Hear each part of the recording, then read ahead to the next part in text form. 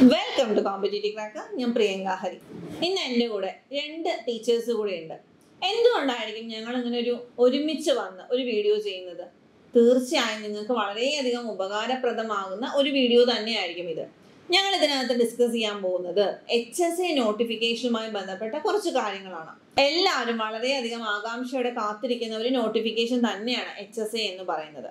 So H S A natural science and H S A maths ഇതുമായി ബന്ധപ്പെട്ട് എല്ലാവരും അറിഞ്ഞിരിക്കേണ്ട അത്യാവശ്യമായിട്ട് അറിഞ്ഞിരിക്കേണ്ട കുറച്ച് ബേസിക് ആയിട്ടുള്ള കാര്യങ്ങൾ തന്നെയാണ് ഡിസ്കസ് ചെയ്യുന്നത്. അതുകൊണ്ട് തന്നെ ഈ വീഡിയോ പൂർണമായും കാണാൻ ശ്രദ്ധിക്കുക. ആദ്യം നമുക്ക് H S A maths related ആയിട്ടുള്ള കുറച്ച് കാര്യങ്ങൾ ഡിസ്കസ് ചെയ്യാം. കഴിഞ്ഞ വട്ടത്തെ എച്ച് എസ് എയിൽ സെക്കൻഡ് റാങ്ക് ഉൾപ്പെടെ ഒരുപാട് റാങ്കുകൾ നേടിയ ഒരു കോഴ്സാണ് എച്ച് എസ് എ മാത്സ് ആ ഒരു അനുഭവ സമ്പത്ത് കൊണ്ട് തന്നെയാണ് ഇത്തവണയും competitive cracker H S A maths പോലുള്ള ഒരു കോഴ്സുമായി വീണ്ടും വരുന്നത്. ഈ ഒരു എച്ച് എസ് ഐ മാത്സിൽ നമ്മൾ ശ്രദ്ധിക്കേണ്ടതായിട്ടുള്ള കുറച്ച് കാര്യങ്ങളുണ്ട്. ആദ്യമായി നമ്മൾ അറിഞ്ഞിരിക്കേണ്ടത് അതിന്റെ സിലബസിനെ കുറിച്ചും മാർക്ക് ഡിസ്ട്രിബ്യൂഷനെ കുറിച്ചും തന്നെയാണ്. മിസ്സേ നമുക്കിപ്പോൾ എച്ച് എസ് എ മാത്സുമായിട്ട് റിലേറ്റ് ചെയ്ത് പറയുവാണെങ്കിൽ നമുക്ക് വളരെ വ്യക്തമായിട്ടുള്ള ഒരു സിലബസ് ഉണ്ട്. പറയുകയാണെങ്കിൽ ഈ ഒരു വർഷം രണ്ടായിരത്തി ഇരുപത്തിനാലിൽ ജനുവരിയിൽ വരെ നമുക്ക് N C A maths exam നടന്നിട്ടുണ്ട്. അതുകൊണ്ട് തന്നെ വളരെ ലേറ്റസ്റ്റ് ആയിട്ടുള്ള സിലബസ് പോലും നമ്മുടെ കയ്യിൽ അവൈലബിൾ ആണ്. സോ ആ സിലബസിനെ കുറിച്ച് പറയുകയാണെങ്കിൽ എങ്ങനെയായിരിക്കും അതിനകത്ത് വരുന്ന മാർക്ക് ഡിസ്ട്രിബ്യൂഷൻ നമുക്ക് എയ്റ്റി ട്വന്റി എന്നുള്ള പാറ്റേണിലാണ് വരുന്നത്. ട്വന്റി മാർക്സ് ജനറൽ നോളേജും കറണ്ട് അഫയേഴ്സും പ്ലസ് നമ്മുടെ പെഡഗോഗിയും കൂടെ ചേർന്ന് വരുന്നതാണ് ട്വന്റി മാർക്സിന്റെ ഭാഗം. പിന്നീട് വരുന്ന എയ്റ്റി മാർക്സിൽ നമ്മളുടെ കോർ സബ്ജക്റ്റ് അതായത് മാത്സും സ്റ്റാറ്റിയും ആണ് വരുന്നത്. അപ്പോൾ ജനറൽ നോട്ടിഫിക്കേഷനിൽ മാത്സും സ്റ്റാറ്റിയിലും മാത്സിന് തേർട്ടി മാർക്കും സ്റ്റാറ്റിക്ക് ഫിഫ്റ്റി മാർക്ക് എന്നുള്ള രീതിയിലായിരുന്നു ഡിസ്ട്രിബ്യൂഷൻ ഉണ്ടായിരുന്നത്. അതായത് മിസ് പറയുന്നത് നമ്മുടെ ജനറൽ ആയിട്ട് രണ്ടായിരത്തി ഇരുപതിൽ നോട്ടിഫിക്കേഷൻ വന്ന് രണ്ടായിരത്തി ഇരുപത്തിരണ്ടിൽ പരീക്ഷ നടന്ന എച്ച് എസ് എ മാത്സ് എല്ലാവർക്കും വളരെയധികം ഒരു പേടി ജനിപ്പിച്ച ഒരു H S A maths exam ആയിരുന്നു. ആ ഒരു എക്സാമിലുള്ള മാർക്ക് ഡിസ്ട്രിബ്യൂഷൻ ആണ് മിസ് പറഞ്ഞത്. അന്ന് അൻപത് മാർക്കോളം സ്റ്റാറ്റിയുടെ ഭാഗത്ത് നിന്ന് തന്നെ വന്നിരുന്നു. അതിനകത്ത് സ്റ്റാറ്റി ഏത് ലെവലിലുള്ള ക്വസ്റ്റ്യൻസ് വരെ ചോദിച്ചിരുന്നു മിസ് സ്റ്റാറ്റി ഒരു ഡിഗ്രി പി ജി ലെവൽ വരെയുള്ള ക്വസ്റ്റ്യൻസ് ചോദിച്ചിരുന്നു. അപ്പോൾ മെയിൻ മാത്സുകാരെ സംബന്ധിച്ചിടത്തോളം ആ ഭാഗം വളരെ ഡിഫിക്കൽട്ട് ആയിട്ടുള്ള ഒരു പോർഷനും കൂടി ആയിരുന്നു. അതുകൊണ്ട് തന്നെ ആയിരിക്കും അല്ലെ? പലവിടെയും നമുക്കറിയാം കട്ട് ഓഫ് വളരെ കുറവാണ്. അതെ. മുപ്പതിൽ താഴെ മാത്രം കട്ട് ഓഫ് വന്ന ഒരു പരീക്ഷയായിരുന്നു. രണ്ടായിരത്തി ഇരുപത്തിരണ്ടിൽ നടന്ന ഒരു ജനറൽ നോട്ടിഫിക്കേഷനിൽ വന്ന എച്ച് എസ് എ മാത്സ് എന്ന് പറയുന്നത്.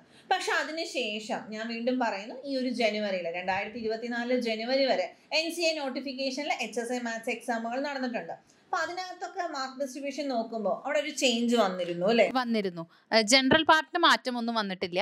പക്ഷെ നമ്മുടെ സബ്ജക്റ്റിന്റെ പാർട്ട് വരുമ്പോൾ ആദ്യം നടന്ന എക്സാമിൽ ഫോർട്ടി ഫോർട്ടി എന്നുള്ളൊരു ഡിസ്ട്രിബ്യൂഷൻ വന്നു. പിന്നത്തതിൽ നേരെ റിവേഴ്സ് ആയിട്ട് മാത്സിന് ഫിഫ്റ്റി ആ ഫിഫ്റ്റി മാർക്സും സ്റ്റാറ്റിക്ക് തേർട്ടി മാർക്കും അങ്ങനെ ഒരു ഡിസ്ട്രിബ്യൂഷനാണ് പിന്നീട് വന്നത്. അപ്പോൾ നമുക്ക് ഒരിക്കലും മാർക്ക് ഡിസ്ട്രിബ്യൂഷൻ ഇത്ര തന്നെ വരണമെന്ന് പറയാൻ സാധിക്കില്ല. നമുക്ക് എട്ട് മൊഡ്യൂൾസ് ആയിട്ടാണ് അവിടെ ഡിവൈഡ് ചെയ്തിരിക്കുന്നത്. അതിൽ അഞ്ച് മൊഡ്യൂളും പ്യുവർ ആയിട്ട് മാത്സ് റിലേറ്റഡും മൂന്ന് മൊഡ്യൂൾ സ്റ്റാറ്റിക് റിലേറ്റഡ് ആയിട്ടുള്ള ടോപ്പിക്കുകളാണ് അപ്പൊ അതുകൊണ്ട് നമുക്ക് അൻപത് മുപ്പത് നാൽപ്പത് നാൽപ്പത് എന്ന് പറയാൻ സാധിക്കില്ല. സിലബസ് വ്യക്തമായി പഠിക്കുക എന്ന് മാത്രമേ ചെയ്യാൻ സാധിക്കുള്ളൂ. മിസ്സേ എച്ച് എസ് എ പോലുള്ള ഒരു പരീക്ഷയാണ്. നമുക്കിപ്പോൾ എൽ പി യു പി കഴിഞ്ഞ് എല്ലാവരും വളരെ ആകാംക്ഷയോടെ കാത്തിരിക്കുന്ന നോട്ടിഫിക്കേഷൻ തന്നെയാണ്. ഹൈസ്കൂൾ അധ്യാപിക അധ്യാപകനാകാൻ സാധ്യതയുള്ള ഒരു നോട്ടിഫിക്കേഷൻ തന്നെയാണത്. പക്ഷേ ആ ഒരു പരീക്ഷയിലെ മീഡിയം ഓഫ് ലാംഗ്വേജ് എന്ന് പറയുന്നത് ഏതായിരിക്കും? പല ഉദ്യോഗാർത്ഥികൾക്കും ഇപ്പോഴും സംശയമുള്ളൊരു ഭാഗമാണ്. അപ്പോൾ ആ ഒരു ലാംഗ്വേജ് അല്ലെങ്കിൽ നമുക്ക് മീഡിയം ഓഫ് ലാംഗ്വേജ് എന്ന് പറയുന്നത് ഏതായിരിക്കും മിസ്സേ? നമ്മൾക്ക് രണ്ട് പാട്ടാണുള്ളത്. നമ്മുടെ സബ്ജക്റ്റ് അതായത് എൺപത് മാർക്കിന് മലയാളത്തിലും ബാക്കി വരുന്ന ജി കെ പോർഷൻ ഇരുപത് മാർക്ക് ഇംഗ്ലീഷിലുമായിരിക്കും ഉണ്ടാവുക. അപ്പോൾ ഏതൊരു സബ്ജക്റ്റ് അതായത് H S A maths natural science അങ്ങനെ അല്ലാതെ എച്ച് എസ് എ വിളിക്കുന്ന ഏതൊരു സബ്ജക്റ്റ് ആണെങ്കിലും അവരുടെ സബ്ജക്റ്റ് മലയാളത്തിൽ തന്നെയായിരിക്കും അല്ലെ ചോദിക്കാം. അതായത് ലാംഗ്വേജസ് ഒഴികെയുള്ള എല്ലാ സബ്ജക്റ്റുകളും മലയാളത്തിൽ തന്നെയായിരിക്കും ക്വസ്റ്റ്യൻസ് വരുന്നുണ്ടാവുക. സോ ഒരു ഡിഗ്രി ലെവലിലുള്ള പരീക്ഷ ആയതുകൊണ്ട് തന്നെ അത്തരം ആ ഒരു ഡിഗ്രി ലെവലിലുള്ള മലയാളം ടേംസ് ആവശ്യമല്ലേ? അങ്ങനെ ഡിഗ്രി ലെവലിലുള്ള സിലബസിനെല്ലാം മലയാളം ടേംസ് ലഭിക്കുക എന്നുള്ളത് വളരെ എളുപ്പമാണോ? തീർച്ചയായും അല്ല. കാരണം പ്ലസ് വൺ പ്ലസ് ടു മുഴുവൻ നമുക്കറിയാം ഇംഗ്ലീഷ് ടേംസ് ആണ് നമ്മൾ കൂടുതലായിട്ട് ഉപയോഗിക്കുന്നത്. ടെൻത്ത് വരെ മാത്രമേ നമ്മൾ മലയാളം ടേംസ് ഉപയോഗിക്കുന്നുള്ളൂ. അപ്പൊ അങ്ങനെയാണെങ്കിൽ plus one plus two degree അങ്ങനെയുള്ള ഭാഗങ്ങളിലുള്ള ക്വസ്റ്റ്യൻസ് അല്ലെങ്കിൽ അങ്ങനെയുള്ള ഭാഗത്ത് കണ്ടന്റിന്റെ മലയാളം ടേംസ് ലഭിക്കുക എന്നുള്ളത് വളരെ ബുദ്ധിമുട്ടുള്ള ഒരു കാര്യമല്ലേ? തീർച്ചയായും വളരെ ബുദ്ധിമുട്ടുള്ള അപ്പൊ മിസ്സിന്റെ സബ്ജക്ട് നാച്ചുറൽ സയൻസ് ആണ്. അപ്പൊ എനിക്കറിയാം നാച്ചുറൽ സയൻസ് എന്ന് പറയുമ്പോൾ തന്നെ അതിനകത്ത് ബോട്ടണിയും വരുന്നുണ്ട് സുവോളജിയും വരുന്നുണ്ട്. സോ ഒരു ഡിഗ്രി ലെവലിലുള്ള ബോട്ടണി സുവോളജി ഭാഗത്തിന്റെ മലയാളം ടേംസ് ലഭിക്കുക എന്ന് വളരെ ബുദ്ധിമുട്ടുള്ള ഒരു കാര്യമാണ്. ഇപ്പൊ മിസ് പ്രിപ്പയർ ചെയ്ത നോട്ട്സ് വെച്ചാൽ മിസ് ഇപ്പൊ ക്ലാസ് എടുക്കാൻ പോകുന്നത്. അപ്പൊ മിസ്സിന്റെ ഈ ഒരു സിലബസിലുള്ള എല്ലാ സിലബസിലുള്ള എല്ലാ കണ്ടന്റിനും കറസ്പോണ്ടിങ് ആയിട്ടുള്ള മലയാളം ടേംസും അതിന്റെ ബേസ് ചെയ്തിട്ടുള്ള മലയാളം നോട്ട്സും ഉണ്ടോ? തീർച്ചയായും. സിലബസ് വൈസ് എല്ലാത്തിന്റെയും മലയാളം നോട്ട്സുകൾ കോമ്പറ്റേറ്റീവ് ക്രാക്കറിലുണ്ട് അതിന്റെ തെളിവ് തന്നെയാണ് നമ്മുടെ കഴിഞ്ഞ തവണ natural H S A natural സയൻസിന്റെ ഫസ്റ്റ് റാങ്ക് ഉൾപ്പെടെയുള്ള ഒരുപാട് റാങ്കുകൾ നമ്മൾക്ക് വന്നത്. അതെ എച്ച് എസ് ഐ നാച്ചുറൽ സയൻസിൽ നമുക്ക് ഒരുപാട് റാങ്കുകൾ വന്നിരുന്നു ഒന്നാമത്തെയും ഏഴാമത്തെ അതുപോലെ ഒന്ന് മുതൽ അങ്ങോട്ടേക്ക് ഒരുപാട് റാങ്കുകൾ ലഭിച്ചിട്ടുണ്ട്. സോ മിസ് ഈ ഒരു നാച്ചുറൽ സയൻസ് എന്നുള്ള സബ്ജക്റ്റ് എടുക്കുന്ന സമയത്ത് ഇപ്പൊ നേരത്തെ നമ്മുടെ സുജാ മിസ് പറഞ്ഞു അതായത് മാത്തമാറ്റിക്കൽ സയൻസ് എന്ന് പറയുമ്പോൾ അവിടെ മാത്സിലും സ്റ്റാറ്റിക്കും രണ്ട് പേരും അല്ലെങ്കിൽ രണ്ട് സബ്ജക്റ്റും പഠിക്കേണ്ടതായിട്ടുണ്ട്. ഇപ്പൊ നാച്ചുറൽ സയൻസ് എന്ന് പറയുമ്പോൾ ഏതിനായിരിക്കും വെയിറ്റേജ് കൊടുക്കേണ്ടത്? ബോട്ടണിക്കാണോ സുവോളജിക്കാണോ എങ്ങനെയായിരിക്കും ഒരു കുട്ടി പഠിക്കാൻ തുടങ്ങേണ്ടത്? നാച്ചുറൽ സയൻസിന്റെ കേസ് നോക്കുകയാണെങ്കിൽ നമ്മൾ ഡിഗ്രിക്ക് രണ്ടും മെയിനാണ് ബോട്ടണിയും സുവോളജിയും അപ്പോൾ അത് രണ്ടിനും ഈക്വൽ ഇമ്പോർട്ടൻസ് ആണ് വരുന്നത്. അപ്പം ബോട്ടണി പഠിച്ച കുട്ടികൾ സബ്സിഡറി സബ്ജക്റ്റ് ആയിട്ട് സുവോളജി പഠിച്ചു കാണോ?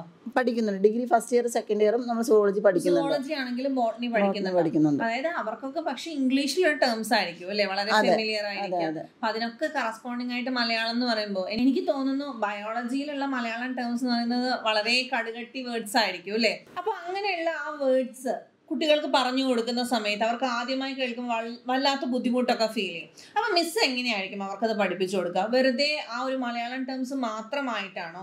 അല്ല അതിന് കറസ്പോണ്ടിങ് ആയിട്ട് ഓരോ മലയാളം വേർഡിനും കറസ്പോണ്ടിങ് ആയിട്ടുള്ള ഇംഗ്ലീഷ് ടേംസ് പറഞ്ഞു തന്നെയാണോ പഠിപ്പിക്കുന്നത്? അതെ തീർച്ചയായും. നമുക്ക് മീഡിയം ഓഫ് ക്വസ്റ്റ്യൻ എന്ന് പറയുന്നത് മലയാളത്തിലാണോ. ഭയങ്കര ഡിഫറൻസ് ഉണ്ട് തമ്മിൽ അതായത് ഇപ്പം നമ്മൾ ഡിഗ്രിക്കൊക്കെ പഠിക്കുമ്പം മൈറ്റോസിസ് മിയോസിസ് അങ്ങനെ പഠിക്കുന്നത് അത് മലയാളം ടേം എന്ന് പറയുന്നത് ക്രമഭംഗം മൂലഭംഗം അങ്ങനെ വരുന്നു. പിന്നെ ഏകസങ്കരാനുപാതം ജെനറ്റിക്സിൽ വരുമ്പോൾ ദ്വിസങ്കരാനുപാതം ഇങ്ങനെയൊക്കെ പറയുമ്പോൾ വളരെ വ്യത്യാസമുണ്ട്. അത് പഠിച്ചെടുക്കുക എന്നുള്ളത് വളരെയധികം ബുദ്ധിമുട്ടുള്ളതല്ലേ മിസ്സേ? ബുദ്ധിമുട്ട് എന്ന് പറഞ്ഞാൽ കുട്ടിക്ക് അത് ഭയങ്കര കൺഫ്യൂഷൻ ആയിരിക്കും. കുട്ടി അത് പഠിച്ചു വന്നത് തന്നെയായിരിക്കും സ്കൂൾ ലെവലിൽ പക്ഷെ ഇത് തന്നെയാണോ എന്നുള്ളതിലും ഒരു കൺഫ്യൂഷൻ അവിടെ വരാനുള്ള ചാൻസ് കൂടുതലാണ്. നാച്ചുറൽ സയൻസിന്റെ കാര്യം പറഞ്ഞതുപോലെ തന്നെയാണ് മാത്സ് ഇപ്പൊ ഞാനും മാത്സ് ആണ് സുജാമസ് മാത്സ് ആണ്. അപ്പൊ മലയാളം ടേംസ് എന്ന് പറയുന്നത് പലപ്പോഴും നമുക്ക് പത്താം ക്ലാസ് വരെയാണ് മാത്സിന് മലയാളത്തിലുള്ള ടേംസ് അവൈലബിൾ ആയിരിക്കാം. പക്ഷെ plus one plus two degree level ചില ഭാഗങ്ങൾ പി ജി ലെവൽ പോലും ചോദിക്കുന്നുണ്ട്. സോ അങ്ങനെയുള്ള ഒരു ഭാഗങ്ങളുടെ മലയാളം ടേംസ് കണ്ടെത്തുക എന്നുള്ളത് വളരെയധികം ബുദ്ധിമുട്ടുള്ളതല്ലേ മിസ്. ആണെങ്കിലും പക്ഷെ നമ്മുടെ കയ്യിൽ അതായത് കോമ്പറ്റേറ്റീവ് ക്രാക്കറിൽ സിലബസ് പ്രകാരമുള്ള എല്ലാത്തിന്റെയും മലയാളം ടേംസ് ഇൻക്ലൂഡിംഗ് ആയിട്ടുള്ള ക്ലാസ്സുകൾ റെഡിയാണ് അതെ. അല്ലേ മിസ്സേ അതായത് നമ്മൾ H S A maths ready ആയിട്ട് എല്ലാം സെറ്റ് ആയിട്ട് കാത്തിരിക്കുകയാണ്. അപ്പൊ മിസ്സിന് ഇപ്പം വളരെയധികം ബുദ്ധിമുട്ടേറിയ ഭാഗം ഇപ്പൊ H S I maths prepare ചെയ്യുന്ന കുട്ടികൾക്ക് കുറച്ച് കൂടുതൽ തന്നെ നന്നായിട്ട് എഫേർട്ട് ഇട്ട് പഠിക്കേണ്ട ഭാഗം എന്ന് പറയുന്നത് ഏതായിരിക്കും? മലയാളം ടേംസ് റിലേറ്റഡ് ആയിട്ട് വരുന്ന സമയത്ത് ഏതായിരിക്കും? തീർച്ചയായിട്ടും നമ്മുടെ ഡിഗ്രി പോർഷൻസ് ആണ് കൂടുതലായിട്ട് നമ്മൾ സ്ട്രെസ് ചെയ്ത് പഠിക്കേണ്ടി വരിക. കാരണം അവിടെ കാൽക്കുലസ് എന്നൊക്കെ പറയുമ്പോൾ കലനം ഒരു തരത്തിൽ നമുക്ക് റിലേറ്റ് ചെയ്യാൻ പറ്റാത്ത വേർഡുകളാണ് അവിടെ വരുന്നത്. അപ്പോൾ ആ ഭാഗം അവരെ സംബന്ധിച്ചിടത്തോളം എപ്പോഴും ബുദ്ധിമുട്ടുള്ള ഒരു ഭാഗം തന്നെയാണ്. അപ്പം വെറുതെ ഒരു രണ്ട് മാസം കൊണ്ട് പഠിച്ചെടുക്കാം എന്നുള്ള രീതിയിൽ പഠിക്കാൻ പറ്റുന്ന ഒരു കോഴ്സാണോ എച്ച് എസ് എ ഒരിക്കലും അല്ല. കൃത്യമായ ഒരു പ്ലാനിങ്ങോട് കൂടി നമ്മൾ നോട്ടിഫിക്കേഷൻ വരുന്നതിന് മുൻപ് തന്നെ പഠിച്ചു തുടങ്ങിയാലാണ് നമുക്ക് ആ ഒരു റിവിഷനുള്ള സമയം നമുക്ക് കിട്ടുള്ളൂ പിന്നെ പലരും വിചാരിക്കുന്നുണ്ടാവും നാച്ചുറൽ സയൻസ് ആയിക്കോട്ടെ മറ്റേത് സബ്ജക്റ്റ് മാത്സ് ആവാം ഫിസിക്കൽ സയൻസ് ആവാം സോഷ്യൽ സയൻസ് ആവാം. പലരും വിചാരിക്കുന്നത് ഇംഗ്ലീഷ് ടേമിനെ നമ്മൾ ഈ ഒരു മെസ്സേജ് ഒക്കെ അയക്കുന്ന രീതിയിൽ മലയാളീകരിച്ച് വരുമെന്നാണ്. അങ്ങനെ നമുക്ക് എക്സ്പെക്ട് ചെയ്യാൻ പറ്റും. അതായത് ഇപ്പൊ നമ്മൾ പറയുവാണെങ്കിൽ ആൾജിബ്ര എന്നതിന്റെ മലയാളം നമുക്ക് ശരിക്കും ബീജഗണിതം എന്നാണ് അല്ലെ? പക്ഷെ അവർ വിചാരിക്കുന്ന ഓൾജിബ്ര എന്നുള്ളതിനെ നമ്മൾ മലയാളത്തിൽ ആൾജിബ്ര എന്ന് എഴുതി വരും എന്ന രീതിയിൽ വിചാരിക്കുന്ന പല കുട്ടികളും ഉണ്ട്. അങ്ങനെയാണോ വരിക? അല്ല എക്സാക്ട് ടേം തന്നെ ആയിരിക്കും ക്വസ്റ്റ്യൻസിൽ ഇൻക്ലൂഡ് ചെയ്തിട്ടുണ്ടാവുക. അടുത്തൊരു സംശയമാണ് ഏതെങ്കിലും ഒരു പെർട്ടിക്കുലർ റാങ്ക് ഫയൽ അതായത് എല്ലാം ഉള്ള നമ്മുടെ ജനറൽ പേപ്പറിന്റെയും നമ്മുടെ കണ്ടന്റ് കോർ സബ്ജക്റ്റും ഉള്ള ഏതെങ്കിലും ഒരു പെർട്ടിക്കുലർ ബുക്ക് മാത്രം പഠിച്ചെടുത്താൽ നേടാൻ സാധിക്കുന്ന ഒരു തസ്തികയാണോ എച്ച് എസ് സി എന്ന് പറയുന്നത്? ഒരിക്കലുമല്ല. കാരണം നമ്മുടെ കോർ സബ്ജക്റ്റ് മലയാളത്തിലാണ്. നമ്മൾ അടിസ്ഥാന വിവരങ്ങൾ പഠിച്ചു പോയാൽ മാത്രമേ നമുക്ക് കൺസെപ്റ്റ് മനസ്സിലാക്കി നമുക്ക് ആൻസറിലേക്ക് എത്താൻ പറ്റുള്ളൂ. അതായത് മിസ് ഉദ്ദേശിക്കുന്നത് മലയാളം ടേംസ് ഒക്കെ കണക്ട് ചെയ്യാൻ കണക്ട് ചെയ്ത് ഓർത്തെടുക്കാനൊക്കെ കൃത്യമായിട്ട് നമുക്ക് അതിനെ കുറിച്ചുള്ള ഒരു ബേസിക് നോളേജ് ഉണ്ടായിരുന്നു തീർച്ചയായും. പല റാങ്ക് ഫയലുകളിലും എല്ലാം അങ്ങനെ അത്രയും ഡീറ്റെയിൽ ആയി കൊടുക്കണം എന്നില്ല അല്ലെ വളരെ ക്രിസ്പ് ആയിട്ടൊക്കെ ആയിരിക്കും കൊടുത്തിട്ടുണ്ടാവും അപ്പൊ അത് മാത്രം ഡിപ്പെൻഡ് ചെയ്ത ഒരിക്കലും ഒരു നല്ല റാങ്കിലേക്ക് വരാൻ സാധിക്കുമോ ഒരു കുട്ടിക്ക്? ഇല്ല. കാരണം എന്താണെന്ന് വെച്ച് കഴിഞ്ഞാൽ നമുക്ക് എന്തെങ്കിലും ഒരു ടോപ്പിക്കിന് ഒരു ക്രിസ്പായിട്ടുള്ള ഒരു വിവരണം മാത്രം കൊടുത്തു പിന്നെ അതിന് കുറച്ച് ക്വസ്റ്റ്യൻസ് ആണ് ഉണ്ടാവുക. അങ്ങനെ പഠിച്ചു കഴിഞ്ഞാൽ അത് അതിന്റെ ഒരു കണ്ടിന്യൂഷൻ കിട്ടില്ല. അപ്പോൾ നമുക്കറിയാം ഇപ്പോൾ സ്റ്റേറ്റ്മെന്റ് രൂപത്തിൽ ക്വസ്റ്റ്യൻസ് വരികയാണെന്നുണ്ടെങ്കിൽ ഒരു ഉദ്യോഗാർത്ഥിക്ക് അത് കൃത്യമായിട്ട് തരംതിരിച്ച് എഴുതാനുള്ള ഒരു കഴിവ് വരില്ല. അങ്ങനെ ഒരു റാങ്ക് ഫയൽ മാത്രം ഫോളോ ചെയ്ത് പഠിക്കുകയാണെന്നുണ്ടെങ്കിൽ. ഓക്കെ അപ്പൊ ഒരു ഒരു പെർട്ടിക്കുലർ ബുക്കിനെ മാത്രം ഡിപ്പെൻഡ് ചെയ്ത് ഒരു റാങ്ക് ഫയലിനെ മാത്രം ഡിപ്പെൻഡ് ചെയ്ത് പഠിച്ചാൽ എച്ച് എസ് എ പോലുള്ള ഒരു നല്ലൊരു തസ്തികയിലേക്ക് നമുക്ക് എത്തിപ്പെടാൻ സാധിക്കില്ല എന്ന് തന്നെയാണ് പറയുന്നത്. ഇനി നമ്മളെ കാത്തിരിക്കുന്നത് എച്ച് എസ് എ ഏതൊരു സബ്ജക്റ്റും ആയിക്കോട്ടെ അതിൽ വളരെ കോമൺ ആയി വരുന്ന ഒരു ഭാഗമാണ് ഇരുപത് മാർക്കിനുള്ള ജനറൽ ഭാഗം എന്ന് പറയുന്നത്. അതിനകത്ത് നമ്മളെ കാത്തിരിക്കുന്നത് മെത്തഡോളജി അതുപോലെ തന്നെ pedagogy renaissance current affairs G K എന്ന ഭാഗങ്ങളാണ്.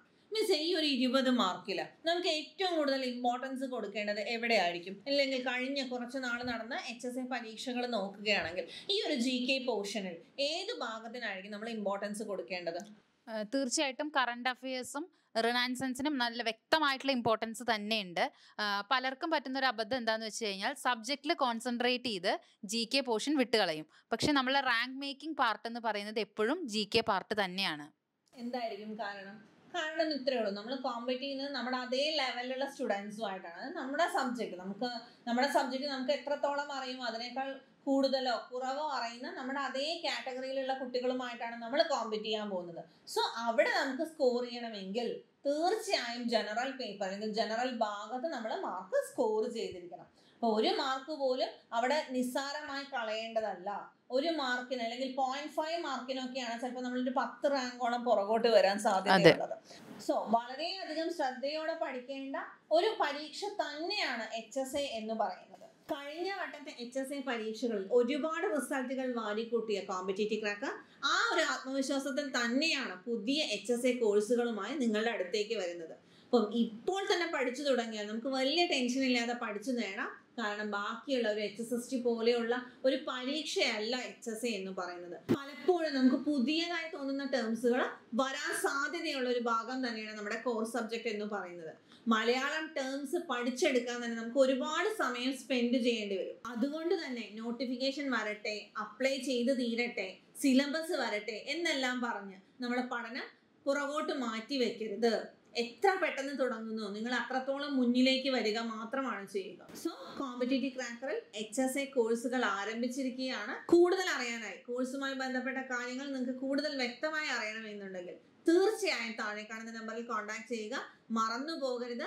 ഈ ഒരു അവസരം നഷ്ടപ്പെട്ടാൽ മിനിമം നമ്മൾ മൂന്ന് വർഷം വീണ്ടും കാത്തിരിക്കണം. ഇതുപോലൊരു നോട്ടിഫിക്കേഷൻ വരാൻ. അപ്പോൾ നമുക്ക് ഇത്തവണ എച്ച് എസ് എ സി സിയോടൊപ്പം തന്നെ നേടാം. താങ്ക്